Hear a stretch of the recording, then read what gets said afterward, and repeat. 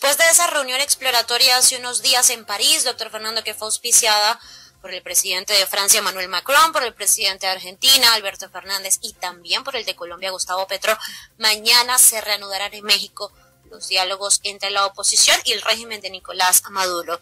Diálogos, doctor Fernando, recordemos que fueron suspendidos unilateralmente por el régimen venezolano en octubre del año pasado, después de que Alex Saab, el conocido testaferro de Nicolás Maduro, fuera extraditado desde Cabo Verde hacia Estados Unidos. Estos nuevos diálogos tendrán como países garantes a Noruega y también a España. El punto de partida, el de siempre, doctor Fernando. Oposición pide elecciones libres y el régimen quiere que sean levantadas las sanciones contra el Estado y sus funcionarios.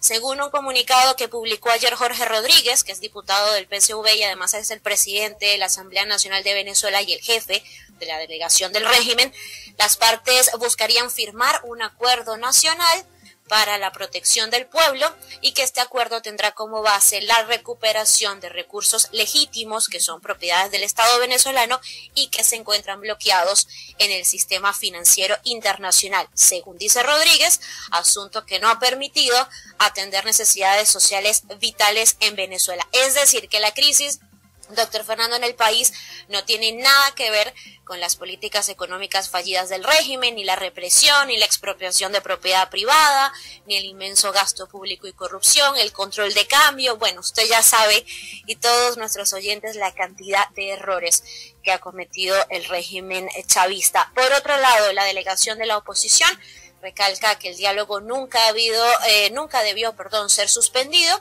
y que acude a esta negociación para buscar soluciones a la crisis humanitaria que ha llevado a que más de 7 millones de venezolanos hayan salido del país y para acordar el establecimiento de condiciones para elecciones libres. Doctor Fernando de Mar, compañeros, desde el paro nacional del 2001, que fue declarado en ese entonces por Fede Cámaras y que terminó con el golpe de Estado de abril de 2002, para mí les digo, la única oportunidad seria que hemos tenido de liberarnos del régimen chavista, la oposición venezolana se ha sentado en mesas de diálogo con la dictadura. En 2003, diálogos auspiciados por la OEA. En 2011 también. En 2014 hubo diálogos que terminaron con la encarcelación de Leopoldo López. En 2017, los diálogos en República Dominicana, que doctor Fernando usted lo recuerda muy bien, auspiciados por el Papa Francisco. En 2019, cuando Guaidó, Guaidó tomó la presidencia interina, también hubo diálogos. Y ahora en México, y ahí sigue la revolución en el poder desde hace más de 20 años. Yo no creo que haya nada diferente en nuestros nuevos diálogos. Si fuera por los diálogos estaríamos en un país feliz y en un país próspero y rico como fue Venezuela siempre. Hoy es el país más pobre de América Latina, de donde la gente tiene que salir para buscar un plato de comida porque a Venezuela se la robaron, se la robaron entera. Viernes Negro en los Estados Unidos. Hace unos años no se hablaba de eso y nadie sabía que existía Viernes Negro. Ahora a todo el mundo le interesa y a los colombianos en particular porque eso mide la tensión nerviosa que hay en el consumo de los Estados Unidos. Por ahí se define cuál va a ser la inflación, por ahí se define cuál va a ser el desarrollo económico de ese gran país. El Viernes Negro, ¿en qué consiste? En que hay una oferta general a unos precios increíbles de productos que se quedaron guardados de las estaciones de verano y de otoño inclusive. Y entonces los almacenes todos los rematan. Es una especie de remate general al que concurren millones de personas. ¿Qué va a pasar con el Viernes Negro, el Black Friday? ¿Qué va a pasar en esta ocasión? Sabremos. Y sabremos entonces qué es lo que le sucede a la economía de los Estados Unidos y a la economía del mundo. Hoy en Estados Unidos esperan grandes descuentos este Black Friday, tradicional inicio de la temporada de compras navideñas, pero el reto será que los consumidores acudan a la cita en medio de una fuerte inflación. Hace un año los minoristas enfrentaron escasez de productos a raíz de los retrasos en la distribución y los cierres de fábricas por la pandemia de COVID-19. Para evitar una situación similar, el sector adelantó las importaciones navideñas este año pero quedó vulnerable al exceso de oferta cuando los consumidores están recortando gastos. Los minoristas redujeron inventario en los últimos meses, pero el exceso de oferta crea condiciones excepcionales para quienes buscan gangas en rubros como la electrónica, el equipamiento del hogar y la vestimenta. Los costos más altos de la gasolina y de los productos básicos del hogar como la carne y los cereales son un problema de toda la economía, pero no suponen una carga para todos por igual. Los consumidores de ingresos bajos se ven claramente más afectados por la alta inflación porque proporcionalmente gastan más en productos de primera necesidad. El incremento, el incremento de precios cede poco a poco, doctor Londoño, pero incluso así, el 10 de noviembre, el, el índice de precios al consumo marcó 7.7% a 12 meses, un nivel alto para los estadounidenses. Hasta ahora, doctor Londoño, los consumidores estadounidenses se han mostrado resistentes ante las diversas crisis vividas desde el inicio de la pandemia, gastando más de lo esperado, incluso cuando los indicadores de confianza daban cuenta de sus preocupaciones.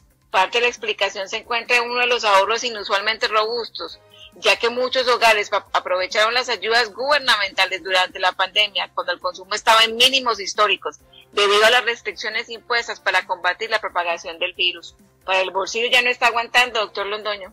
Después de un pico de 2.5 billones de dólares a medida del 2021, el ahorro estadounidense volvió a caer a 1.7 billones de dólares un año después y los consumidores con un ingreso anual de menos de 35 mil dólares son los primeros afectados, con una caída del 39% en sus ahorros durante los primeros seis meses del año.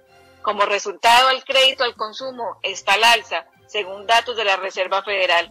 Los, los informes de ganancias del doctor Londoño de los minoristas en los últimos días han dado una imagen mixta sobre la salud del consumidor.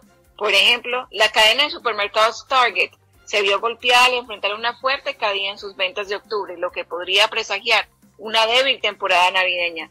Mientras tanto, su competidor, que se llama Lowe's, que se especializa en decoración, es optimista señalando un tercer trimestre sólido y sin señales de debilitamiento. Doctor Londoño, este Black Friday en Estados Unidos se ve ensombrecido por la persistente inflación, la cual está golpeando bastante fuerte a los bolsillos de los estadounidenses. Bueno, gracias Sophie. El Black Friday, mañana les contaremos cómo transcurrió y qué significa eso para la economía de los Estados Unidos y en el fondo para la economía del mundo. HP también está despidiendo gente en Silicon Valley. Dice que va a despedir hasta 6.000 personas. Es lo que se dice. Entonces tienen Twitter, tienen Facebook, tienen Amazon y ahora Hewlett Packard. Silicon Valley despidiendo gente en enormes cantidades. Hasta ahora, en la economía de los Estados Unidos hay pleno empleo. ¿Hasta cuándo va a continuar esto? Los peligros de la apuesta de Bukele con las criptomonedas. Bukele, el presidente de El Salvador, resolvió que va, no va a tener banco central, no va a haber moneda salvadoreña, sino que él se le apunta a las criptomonedas. Una jugada muy audaz y muy peligrosa. ¿Quién responde por las criptomonedas? Nadie. ¿Cuál es el banco central que las regula? Ninguno. Es pura especulación. Con el dinero de un país no se puede jugar así. Decíamos, y lo hemos dicho muchas veces, que el chantaje de Rusia sobre Europa empezaba por un chantaje sobre Alemania.